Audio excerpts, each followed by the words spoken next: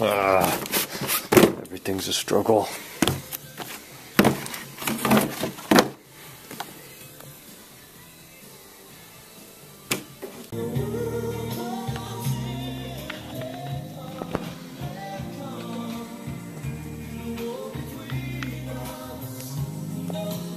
Target disc mode. Welcome to the vlog. I'm going to nerd out on you today at 965 or 966. I don't even know. Um, new Retina 13 inch MacBook Pro, mom's sister. This is the old one. This is actually my first Mac right here. This is the, is it an early 09? Um, 13 inch MacBook Pro. It's the 2.53. I think my dad has the 2.66. This is the 253 Core 2 Duo. 4 gigabytes of 1067 megahertz RAM. 4 gigs. I mean, there was I remember thinking that 4 gigs was a lot, and that's been like 5 years.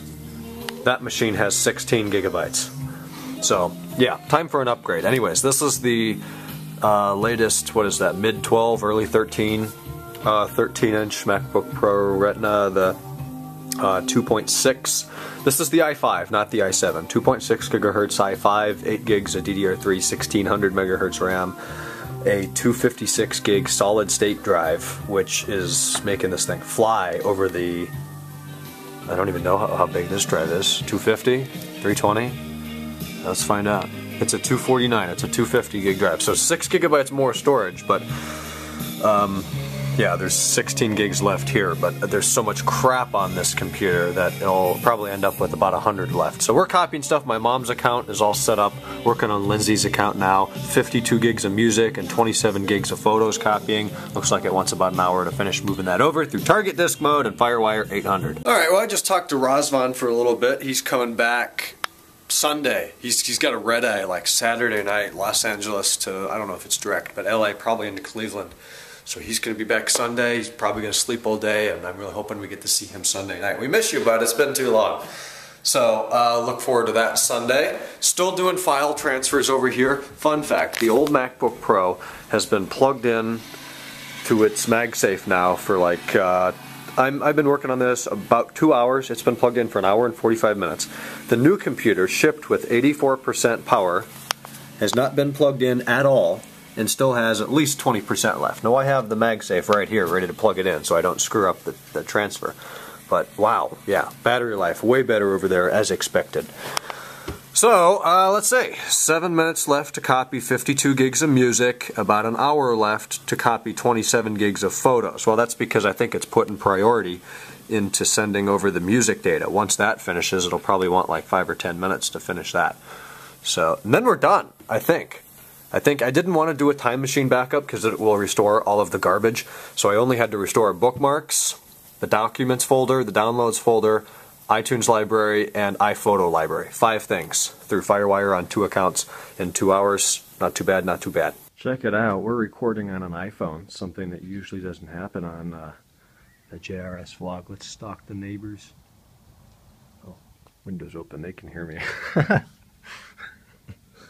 Yeah. All right. Well, it's like 7:45 probably.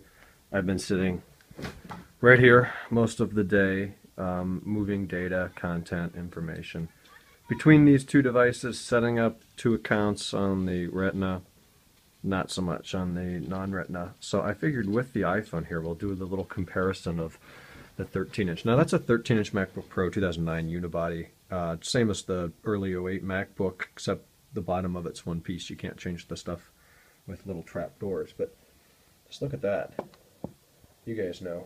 That's the difference. It's doesn't look like a lot, but it certainly is. It feels like it's about maybe only two-thirds the weight of the other one. Definitely way thinner. Same goes for the display when that's shut. Look at that difference.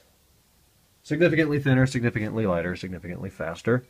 Uh, let's do a little boot comparison here. That's not even fair though, uh, saying that the 13 inch on the right has uh, software on it from, oh man, probably three, four years ago now, and that was new today uh, with the 256 gig SSD. So I'll even give this one the uh, benefit of the doubt here.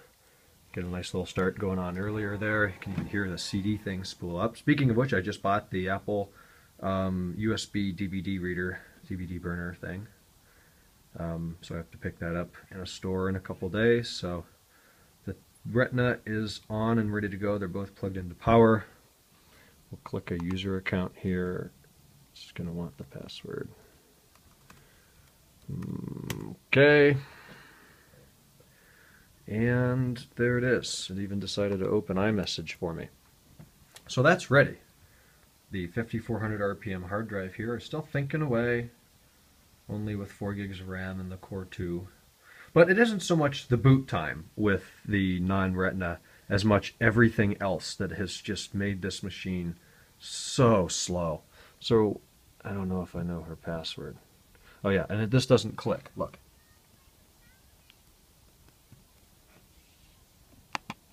It's supposed to be like that. That doesn't click at all. So I tried to touch her username, and of course we beach ball, and then we think, and now we're still trying to log in. So we're at 2 minutes and 40 seconds into this clip. I'm sorry, I'm wasting your time. There we have a desktop, but then we wait even more for the dock. Dad, maybe you see now why this computer's a bit of a lost cause. Still waiting on that dock. Okay, we load that. Saw it was a little uh, little sluggish there. We'll give it a couple seconds here to kind of acclimate itself, and then we'll open uh, Safari, the browser. We'll do a touch there and a click here. There it is. Then we get to sit and bounce. And bounce and think.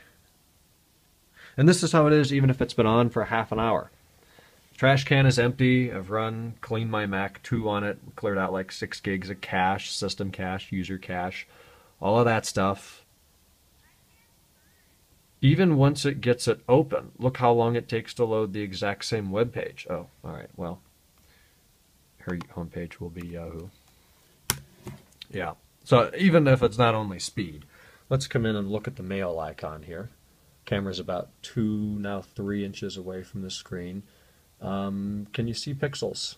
Yeah, actually you can.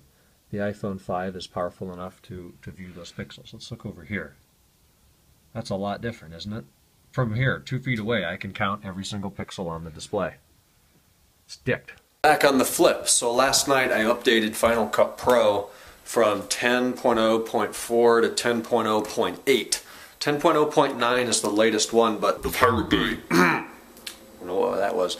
I didn't have 10.09, so we're still on 10.08 with that. Um, notice I actually haven't edited anything in it. I just kind of played with it last night. It was a big file to download, four gigs I think, installed in like three seconds. I love solid state drives. Everything is just so instantaneous and it lasts longer. The only con is of course a 512 gig SSD and my 15 inch Retina cost me like 400 bucks, whereas for $400 you could set up like a, a freaking RAID out the ass 12 terabytes of 7200 RPM drives but whatever storage what's storage do for you? What do you do with 12 terabytes if it's all really slow? That's like driving a limo versus an M3 yeah so you haven't heard me talk specs and talk nerd stuff for a while. Well I still I still have it.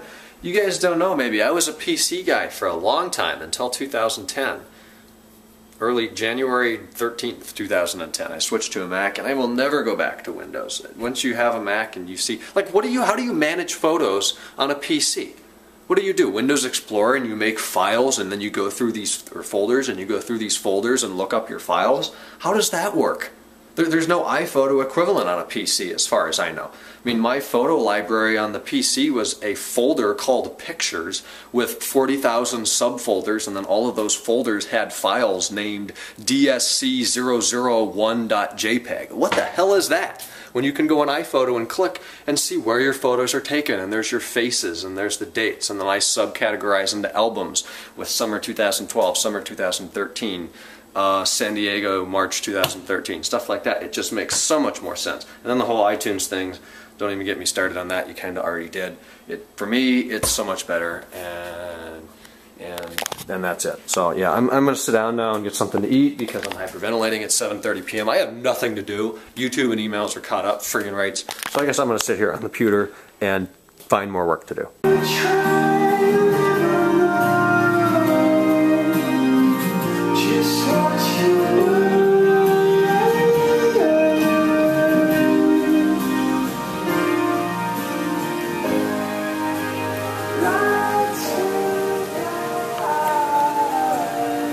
Pouring down rain again. And I'm under the hood. Uh, cleaning the, the driver's side. I did the passenger side earlier in the week.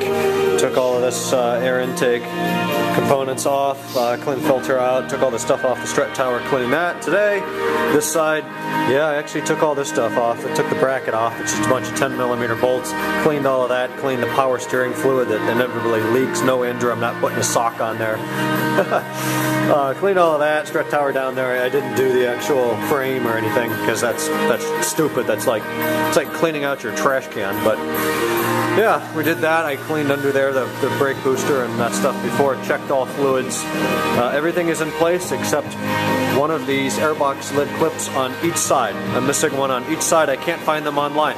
I found these that connect the mass airflow sensor.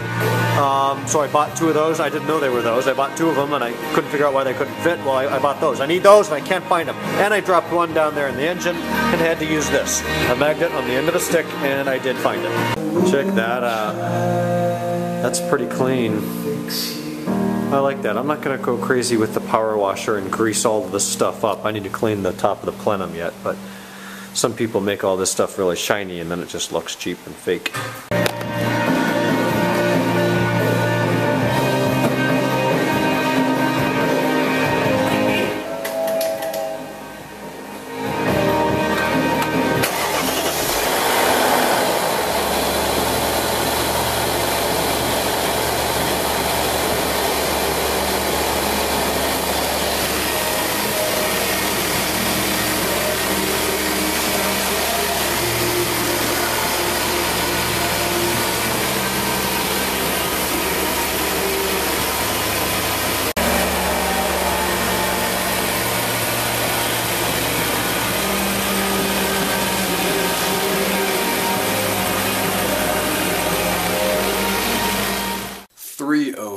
In the morning, I just wrote a very lengthy article on E39 Source trying to promote the site a little bit more, put more content up there regarding the entire Zaino process on the outside of the car. It's a hefty article. It's published. It's live. Go read about it. I just wrote that. Uh, it's like 1,520 words. Took me about an hour and a half. Talked to Bobby on the phone for a while while I did that. Emails mostly done. Couple YouTube videos tonight. I'm gonna go finish that, edit this together, smash it up on the YouTube TVs. tomorrow, Saturday. I'm gonna finish my chocolate milk, and I'll talk to you then. Good night. Mm. That's good. Good night.